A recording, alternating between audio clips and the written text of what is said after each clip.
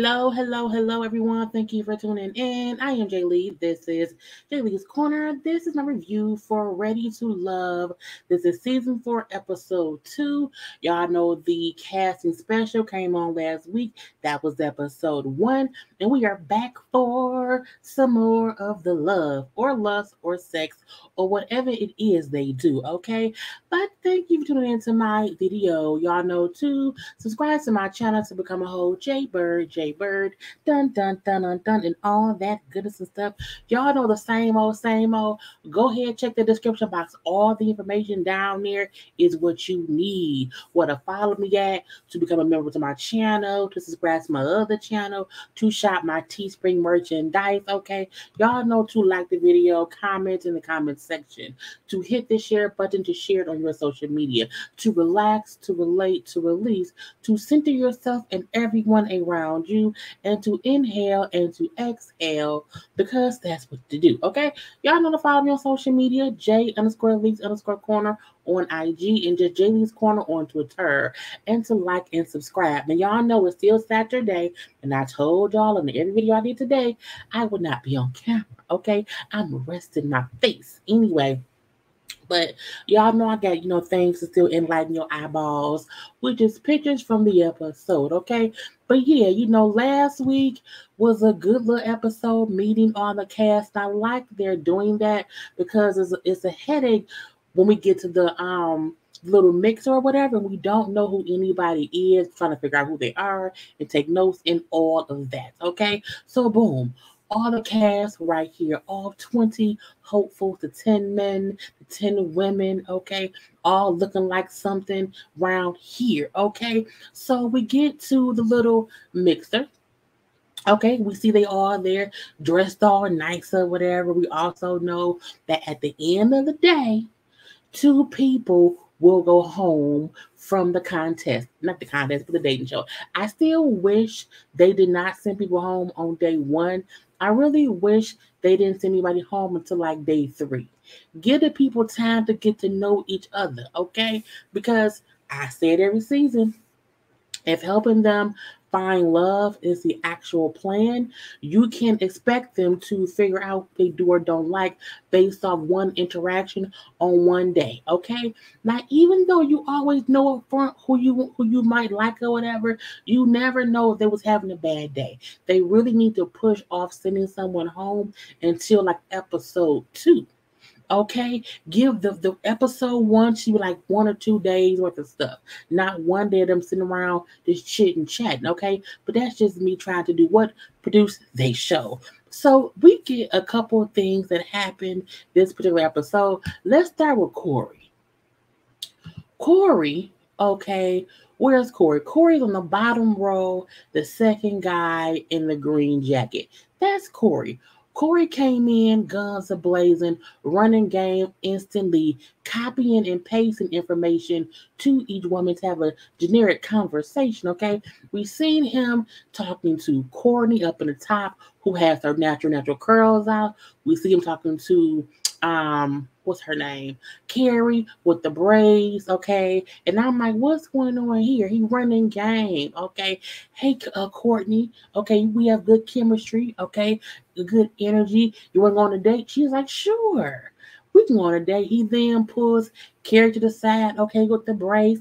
Hey, girl, we have good chemistry. Is you free Friday, Saturday, or Sunday for a little date? And she's like, well, I mean, I guess so, but she's also confused. Like, how, where's his chemistry? He's we ain't even talked. So how do we have a chemistry? But I guess I'll go on a date with him. Now, when he was talking to, not even he, at the bottom, okay, we see Theo, who's in a white suit, was talking to Sabrina in the nice little orange dress or whatever. And Corey walked up, hey, can I borrow for about 45 seconds? I'm like, what you want for 45 seconds? Why I'm only worth 45 seconds, Corey? What do you want, Corey? And he then whispers in her ear, Do you find me attractive? I was like, What the fuck does that mean? Why you care? Okay. And I felt like, first of all, Corey ass gonna go home immediately. Okay, Corey and also the man Lamont, who I'll get into later. Okay. But again, when she, when he asked her, "Do you find me attractive?" and I'm like, "Why are you whispering like it's supposed to be sexy?" Okay, and she was like, "Um, I haven't talked to you yet. I don't know you yet." I'm saying, you know, for me, the physical means nothing. Okay, oh, okay, yeah, yeah. So, are you available Friday? No, Thursday, Friday, or Saturday? She was, she was like, um, I'm gonna talk to you later because I don't know. And again, I'm like you running the saying it's a whole copy and paste, copy and paste. I'm like, you do know all these women are going. Like, have you watched the show? Have you watched the? I'm like, has he not watched the show? And he do remind me of last season's Troy. The only difference is Troy was creepy. Like Troy made me feel like Troy was touching people and kissing foreheads and kissing cheeks and offering trips to islands, kidnapping women or whatever. So Troy was a weird, creepy dude. Corey isn't creepy, but he's pushy and he's like a little bit, eh, I don't want that energy or whatever. But again, he does remind me of Troy. Okay. I just I don't think he gonna kidnap anybody, but I think he gonna ask everybody to date him, okay? But I'm like, boy, whatever. Now we also see, and I, he must not have watched last season. I just, I just can't think he must not have watched, and that's just stupid for him uh, not to do. Now we also see to see Camille and Cornelius, okay, who's up in the top corner, okay, with the green dress. That's Camille, and then Cornelius. I think Cornelius is very, very cute um, in real life. I think he's very, very handsome in his confessional, okay but I want to, you know, I'm trying to wait to get confessional confessional screenshots until we see who's on like episode five. Okay. Um, but yeah, I like Cornelius' face, but he's, you know, having a good time with Camille, who's a teacher, and they vibing, okay? And she said, he my boyfriend now, okay? We go together, okay? And she was joking, but she was also dead ass serious, so much so that when he was like going away, she's like, don't forget to come back. You know what I'm saying? Don't be out there lollygagging with them other people. And he like, yeah, okay. Um, but he like, I'm not gonna put all my eggs in one basket. I think we do have a bit of a connection, but I don't have time to only focus on one person. Is day one. And we then see him later on that night talking to Courtney. Okay. And they have a good little connection and whatever. You saying? She brings up she's she's a single mom and how he changed um once she had a child because she just had to stop him saying, for one, you know, accepting things that ain't cool, and you know, people wanting her to be who she used to be in her early twenties, not who she who she is now her thirty. What now that she is thirty.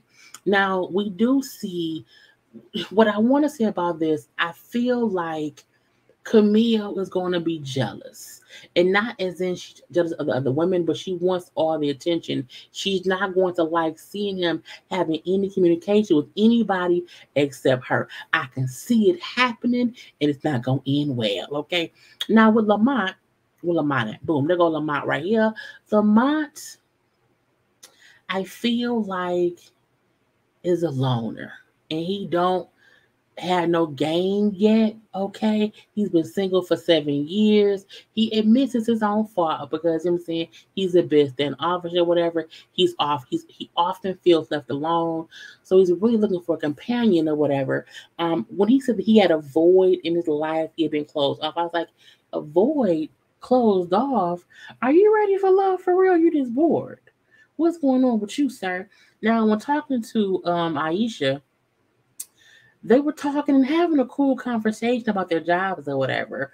And because he's in cybersecurity. And when he then mentioned how he also likes doing spoken word, he did a bit of spoken word to her and she didn't like it. She said it rubs her the wrong way because she felt like he just spit some bar bars her. Like she felt like he was a rapper just rapping to her. Um, I do I take some spoken word differently than rapping, even though I see the connection between the two.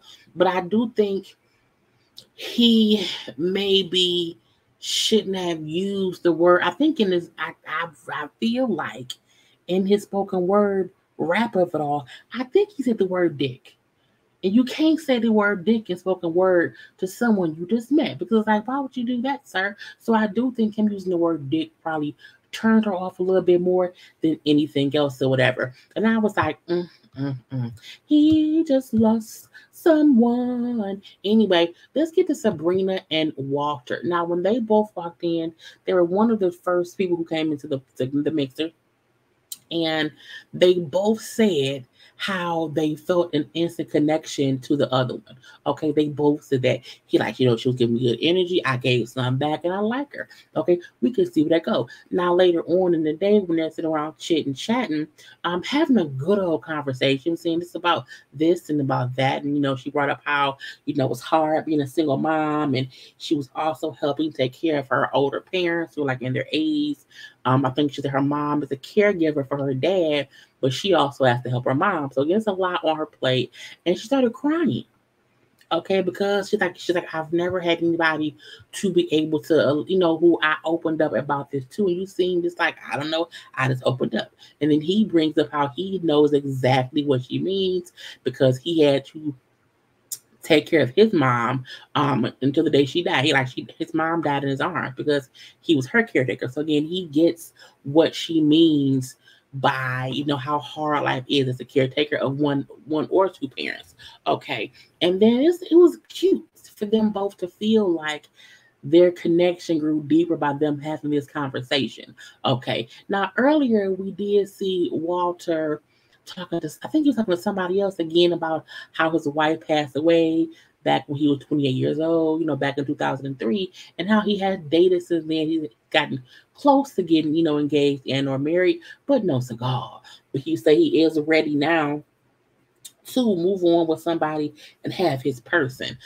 Walter's a very likable guy, and I really hope he isn't a wolf in sheep's clothing because that would piss me off. Okay, now let's get to Corey. Corey was sitting around with a few of the ladies chitting, chatting, or whatever, and they were saying the women was like saying who they like. Now, one girl was saying how she liked Walter. I think of which girl that it may have been Sabrina, and who's in the orange dress in the blonde hair who's kind of cut off.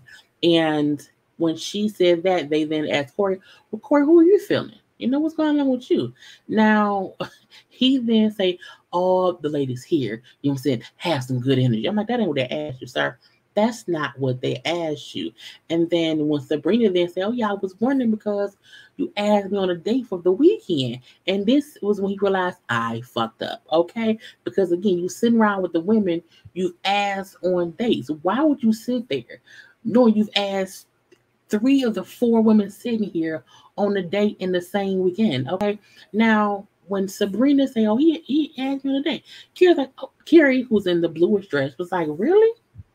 Oh, did he also tell you that he felt good energy or good chemistry with you? She was like, Yeah, he did say that. I was like, Oh, he's busted. Because again, you can't use the same conversation on this women who are all in the same circle. Because even though they may not be friends, they're all in the same circle. Have you not watched this show before? They're gonna have conversations about what you have said to them. Is day one, sir. What is wrong with you? Okay. Now, while sitting there with Carrie and with Sabrina and Moomin, and I hope I'm pronouncing her name right, who's in the orange dress uh, with the black hair, she then say, "Oh, he said they did with me too." I'm like, "What the? F- what is wrong with you?" Now he trying to process what he's involved in. Okay, he then, you know, I know I had to. So what happened was I had to get y'all outside of the remnants of the other guys around here, okay, to catch y'all the attention. So I felt like to do that. Okay, I need to go on separate dates with each of y'all to get. To, I was like, sir, sir, just say I want to date all of y'all to see which one sticks. That's what it is, okay? And so he then is like, you know, ah. so another woman named Shiloh, who was also there, she walked up, and then when she walked up and asked her, did did, did, did, did Corey ask you on a date? And uh, she was like, Yeah, we're going out this. I say, bitch. When she said, Yeah, we're going out this weekend, I was like, Oh, he's busted. And he like, you know, I, I done fucked up now. I'm probably going home. Sir, you probably are. Okay, you might be, you might be. Now we then see Tommy shows up to chit chat with all the people, with the ladies, with the men, to see who they do like, who they do not like, and who they feel like, you know, who needs to go home, who do you feel is not ready to love? Okay. Now the men said they like different people whatever. It doesn't really matter right now who they like because it's too early to care about who they like. What matters right now is who they don't like. Okay. And the men said they did not like uh Tasia, who's in the green dress, Libba, who's in the middle, and then Carrie, who's you know in the pink. And they said Tasia just they felt like she kept rapid firing questions. Um, and it kind of wasn't a spark. And then with Libba, who's in the middle, um, I think I forgot which guy it was. One of the guys said she seemed a bit scatterbrained, and so it was weird. And she did because she was talking to it was one guy and a girl and her having a conversation, and she did seem like not scatterbrained, but like she felt out of place and was trying to fit in. So it came off a bit awkward. So I got what he meant, but I don't know either. Okay. Now with Carrie, it was really just I think Walter said like he does not he did he did not have a physical connect with her, so it wasn't anything bad. But that's the only person who he had a conversation with who he you know like you know it you know it would not be anything between me and her, so it wasn't a bad thing or whatever. Uh, well, I mean I guess it wasn't a bad thing. So when the time he talks to the women, who the women don't like, okay, now the women said.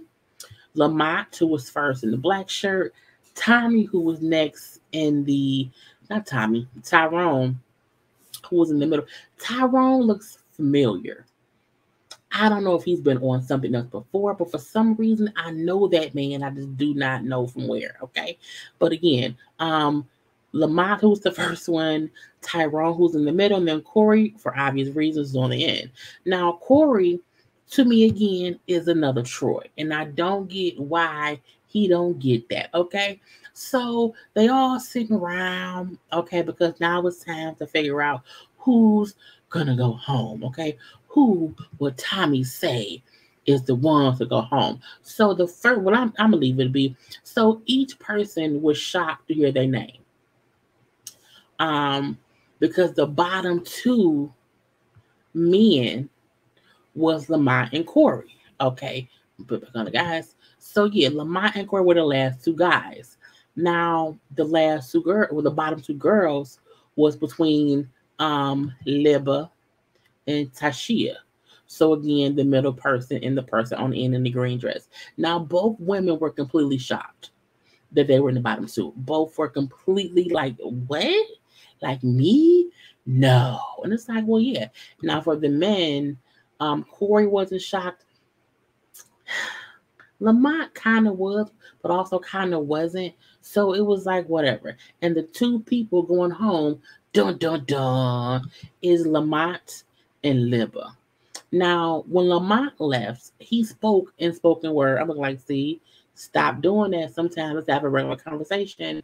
And then with Libba, Libba said how, you know what I'm saying, the men got it right because you know her love wasn't there and it's okay. If they knew she wasn't the one it's okay for them to send her home. And i'm like, I guess that is a great thing to do. Now Tasia, who's in the green dress was pissed that she was in the bottom saying how i had four numbers in my phone I got four numbers in my phone and I'm in the bottom two. Well, because man, the other six probably didn't like you. So it's like it's weird that they think all the guys will like them because some like them. I'm like, y'all do know y'all sent people home too. So it's like you can't be acting like he's surprised that it happened. So we now have two people gone from the competition. Okay, who will last to the end of the season? Who do we think will be the top three couples. Put in the comment section who you think will make it. Now I'm gonna add this on here, okay? I'm going to say, um, I hope Walter and Sabrina make it. And Walter is the one on the bottom row, the first guy with the beard. And then Sabrina is the top row with the short blonde hair, who's next to the guy who got X'd out. I do think they would be oh shit, girl, my eyes smell the scared crap out of me. Um, so I do think they would be a cute couple. I also feel like the guy Phil, who was the second row, the first guy, I want to see Phil for some reason with Carrie. I don't know why. And Carrie's top with the braids. I want to see them two together. So those are the only two people I think would be a couple. Now, Naeem, who was the bald head guy on the second row next to the X out lady. That's Naeem. Naeem and what was her name at the bottom? I got these, these names. The girl on the bottom row, the first girl, I don't know her name is right now.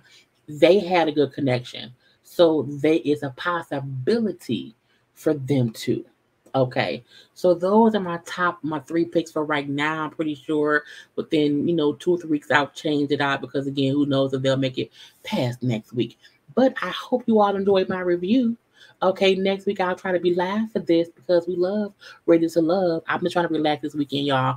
Um, I will be live tomorrow around 4:30-ish to do love and marriage Huntsville. That's if I go to bed right now and then can get some sleep and then get up to watch the episode to be live at 4:30 or I may have to push it back to 5:30. I'm not sure. But again, I hope you all enjoy. Thank you for tuning in. I am Jay Lee. This is Jay Lee's Corner, and I will see you when I see you. Peace.